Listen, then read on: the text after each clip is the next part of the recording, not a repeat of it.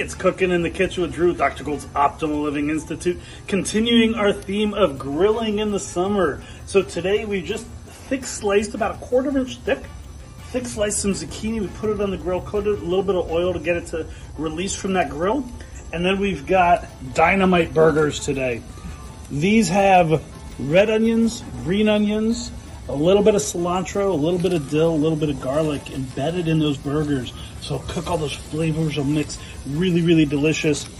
Even though I'm not a fun guy, my wife loves mushrooms, so I made mine and then I mixed in some shiitake mushrooms with hers and put hers on the grill. So I'm making sure that I know which ones have the mushrooms so I don't eat them. For me, they're icky. But anyways, we're gonna get these cooked. Cook them to your desired temperature. So if you like them a little more well done, it's gonna mean they're a little firmer and to the touch, a little bit rarer. It's going to be a little softer to the touch. You can also get a thermometer to poke right in the middle there to check. I generally cook my stuff on high heat. It cooks a little bit quicker, and it still doesn't really burn that much if you keep an eye on it. That's why I have bottles of water off to the side of my grill.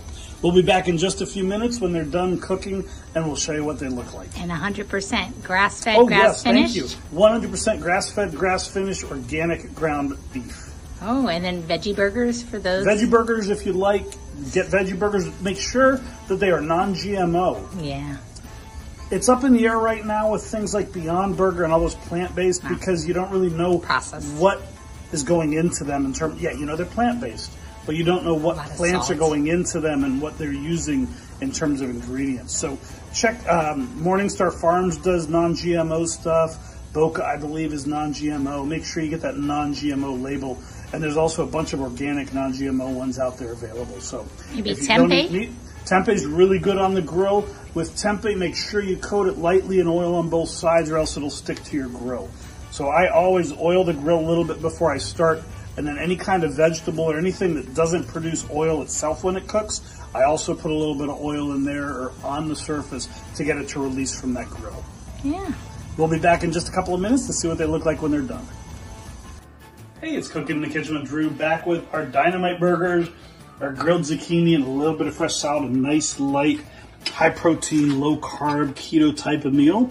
We're gonna try the burgers here. These, as you can see, I like mine a little bit medium and the medium to medium well. It's just pink. It's not really red inside. Let's see how they taste. Mm. Flavors merge beautifully in there. You can taste the cilantro and all the veggies. Really nice. Much better than just a plain hamburger. So Drew with Dr. Oh, and by the way, if you're looking for a, a vegetarian alternative, as I mentioned before, think about tempeh. Just make sure that it's non-GMO. Tempeh, What is tempeh? Tempeh is a fermented soybean where they take it, process it into a pat. I wish we had one to show you, but it's usually in the dairy section, like Publix or Walmart or something like that. Just make sure that it's a non-GMO version. But it is soy-based, they're whole soybeans. So you, I can't deal with, my stomach can't handle processed soy like tofu, but I can eat regular soybeans, I can eat edamame, I can eat tempeh. It's just the processed soy that I have problems with digesting. So it's okay, but keep in mind, again, non-GMO, Fermented and it's they're fermented soybeans and they're just kind of chopped and, and formed into a patty. And you can use those just like you would meat. You can grill them, you can put them if you use a skillet, you can cook them in a skillet, you can bake them, you can do all sorts of stuff with it. A little bit of a different texture, it gets crunchy and it is a little bit chewy because of the uh, beans, but it's actually really, really nice. So, It's only about three dollars. yeah, and they're not expensive. They're like three High to four dollars for a big rectangle like that. Yeah. And they contain about 20 grams of protein for each one, 15 to 20 grams of protein in each of those rectangles. So, again, this is Drew with Dr. Gold's Optimal Living Institute. Enjoy your summer grilling. Toodles.